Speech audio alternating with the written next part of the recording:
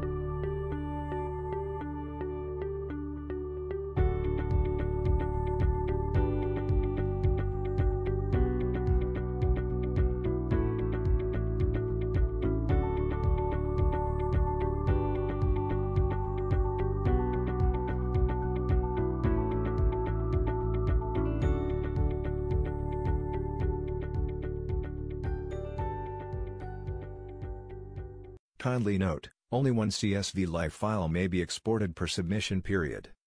If necessary, to reset the CSV live file, delete the generated CSV live file from the history grid.